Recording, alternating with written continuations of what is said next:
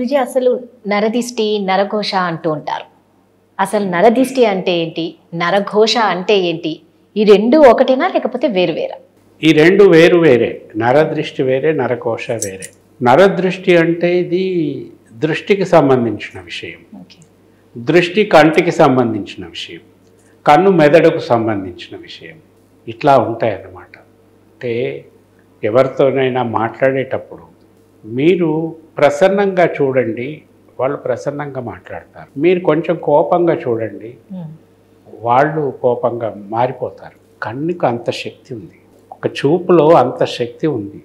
It's the part of brain human brain is so powerful ఒక వెయ్యి కంప్యూటర్లకి సమానం human brain super computer the human brain మించిన computer ఇప్పటిదాకా ప్రపంచంలో లేదు. అంత గొప్పది. మనం దాంట్లో zero point zero zero one percent ఉపయోగించుకుంటాం అంతే అంత పవర్ఫుల్ అది. అండ్ కళ్ళు బ్రెయిన్లో పార్ట్ కన్ను.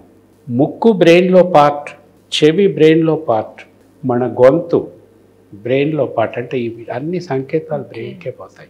పంచేంద్రియాలకు సంబంధించినవి ఇవి. అన్నీ బ్రెయిన్కి వెళ్ళిపోతాయి ఫంక్షన్ బ్రెయిన్ కంట్రోల్ చేస్తూ. సో ఒక మనిషిని మనం కొంచెం క్రీగంట చూసామంటే ఆ ఒక్క చూపు చాలు వాడిలో భావాలని అవకతవకలు చేయటానికి. కొంచెం ప్రసన్నంగా చూస్తే వాడిలో భావాలు ఇంకొకలాగా ఉంటాయి. కొంచెం ప్రేమగా చూస్తే వాడి భావాలు ఒకలాగా ఉంటాయి. You are capable of manipulate others mind అంత పవర్ఫుల్ కన్ను ఇది. అంటే జస్ట్ జీవం ఉన్న ఒక్క మనిషిని ఒక్క కంటి చూపుతో మీరు ఎన్ని విధాలుగా మార్చగలరో అంత పవర్ మీ కళ్ళకి ఉన్నప్పుడు జీవం లేని వాటిని కూడా మీరు మార్చగలరు. అదే నరదృష్టికి నల్లరాయి కూడా పగులుతున్నదే చాలా పెద్ద నోటెడ్ సామెత అయిపోయింది. ప్రతి ఒక్కరు వాడతారు అది. నిజంగా నల్లరాయి పగులుతుందా అంటే ప్రాక్టికల్గా అదేం పగలదు. బట్ ఇది అంత పవర్ఫుల్ అని చెప్పటం.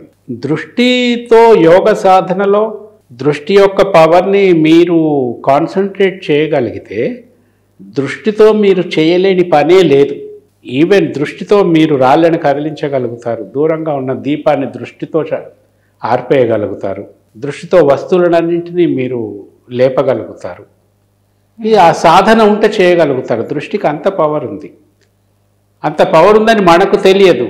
కానీ మనం చూసే దృష్టిలో అది ఉంటుంది. ఒకటి చాలా బాగుంది అంటే దాన్ని మనం తన్మయత్వంలో చూస్తాం. ఒక అప్రిషియేషన్ అయితే కావచ్చు. కానీ ఆ దృష్టి యొక్క తీక్షతను అది తట్టుకోలేకపోవచ్చు. అదొక ఒక పుష్పం అనుకుందాం. బాగుంది చూసావు చాలా బాగుంది అనుకున్నావు అప్రిషియేట్ చేసావు. ఆ కానీ నీ చూపులో తీక్షణతని అది తట్టుకోగలలేదేమో. నీలాగా ఇంకొక వంద మంది చూడొచ్చు దాన్ని. దాన్ని తట్టుకోగలగాలి ఆ చూపు కనపడదు బట్ షార్ప్నెస్ ఉంటుంది. మీరు ఒక ఇంటిని మామూలుగా ఇట్లా చూడటం వేరు. ఆ ఇంటి పైనున్న ముఖద్వారాన్ని మాత్రమే చూడటం వేరు. ఆ ముఖద్వారానికి లోపల ఉన్న విషయం ఏమిటి అని చూడగలగటం వేరు.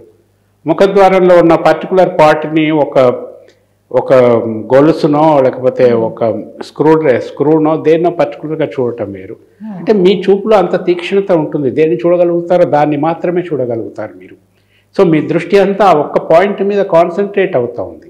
అర్జునుడిని అడుగుతాడు కదా ద్రోణాచార్యుడు చెట్టు మీద ఏం కనపడుతుంది అంటే అందరూ ఆ చెట్టు చెట్టు కొమ్మల మధ్యన పిట్ట ఇదంతా అంటారు. అర్జునుడిని అడిగితే నాకు పిట్ట కన్ను మాత్రమే కనపడుతుంది అంటాడు.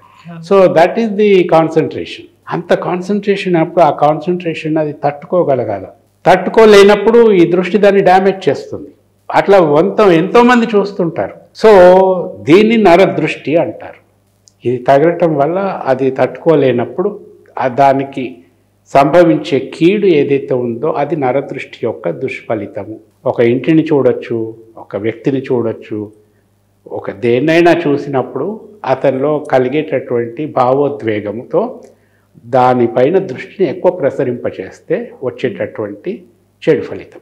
ఊరికే అట్లా చూస్తే ఏం కాదు కానీ తదేకంగా చూడటం తదేకంగా దాని గురించి ఆలోచించటం ఇవన్నీ. అయితే ఆ ఒక ఒక ఫ్లవర్ ఉందనుకుందాము. ఆ ఫ్లవర్కి పక్కన ఇంకొక అట్రాక్షన్ ఉన్నటువంటి రెడ్ కలర్ ఏదో పెట్టారు మీరు. For example. ఈ చూసినప్పుడు ఈ ఫ్లవర్తో పాటు దాన్ని కూడా చూస్తాడు తప్పకుండా.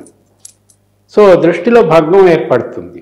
సో ఆ పువ్వుకు తగవలసిన దృష్టి ఆ పక్కన ఉన్నటువంటి అట్రాక్టివ్ థింగ్ ఏదైతే ఉందో రెడ్ కలర్లో అది గ్రహిస్తుంది. అటువంటిప్పుడు ఈ ఫ్లవర్ అనేది కొంచెం భద్రంగా ఉంటుంది. ఇది తంత్రం అంతే. ఇది దృష్టి. దృష్టికి సంబంధించింది.